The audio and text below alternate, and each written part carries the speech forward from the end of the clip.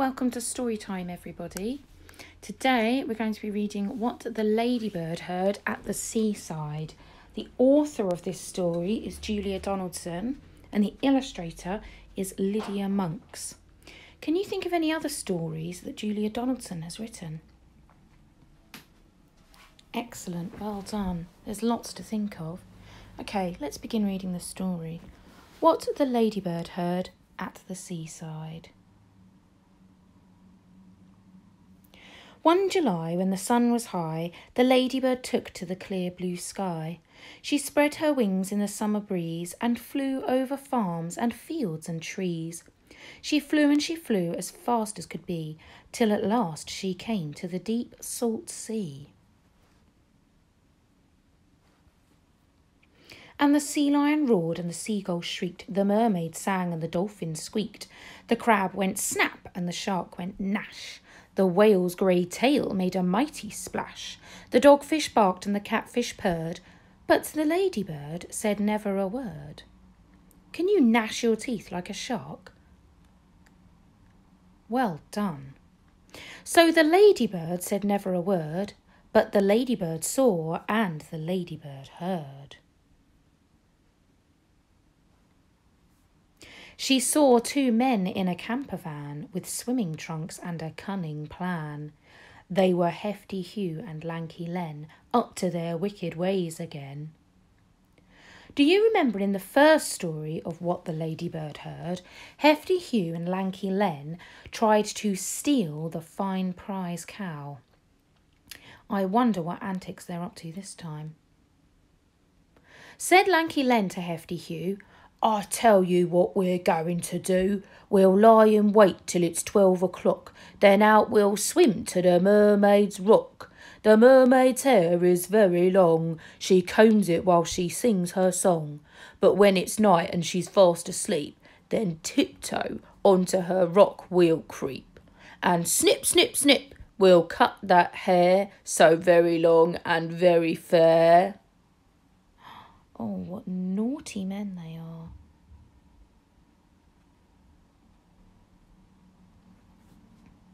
Said Hefty Hugh to Lanky Len, We'll make a lovely wig, and then we'll sell it to a famous star. What brilliant, brainy blokes we are. The mermaid's hair will soon grow back, enough to fill another sack. We'll keep on doing it forever. We've hit on something really clever. Oh.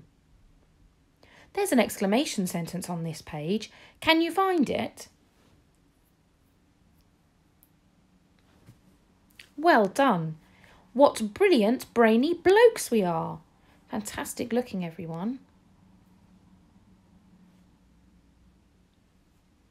The little spotty ladybird, who hardly ever spoke a word, told the animals what she'd heard.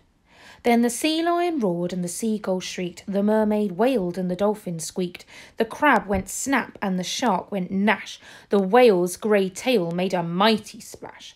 And the fish declared, That wicked pair, we can't let them steal the mermaid's hair. But the ladybird had a good idea, and she whispered it into every ear. Then the seagull gave a joyful shriek, and he fetched some seaweed in his beak. And as the sky was turning red, he dropped it onto the sea lion's head. Oh, the sky was turning red. Just before night time, the sky begins to turn red. That's because the sun is starting to set. Do you know what that time of day is called?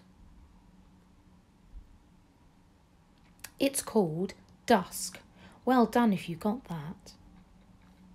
Then, as the sky was turning black, the sea lion climbed on the whale's humped back.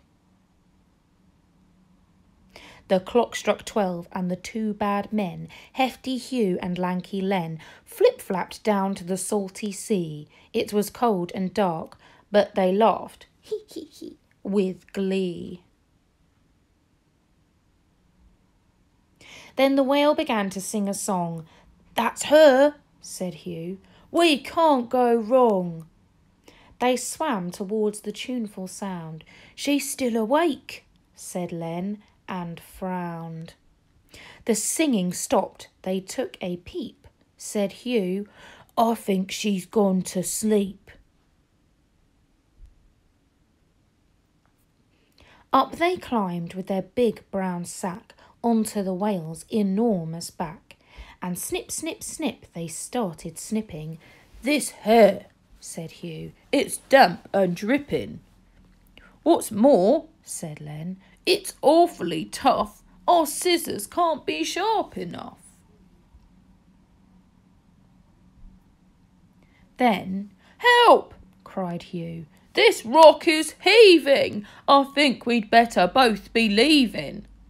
But Len replied, Just one more snip. Then the whale's grey tail gave a great big flip. The thieves fell into the water. Splosh! And Hugh said, Golly! And Len said, Gosh! Then, ouch! cried Hugh, and Len yelled, No! As the shark bit a flipper and the crab pinched a toe. They swam for their lives and then they ran all the way back to their camper van. Phew, said Hugh. We've had a scare, but at least we've got the mermaid's hair.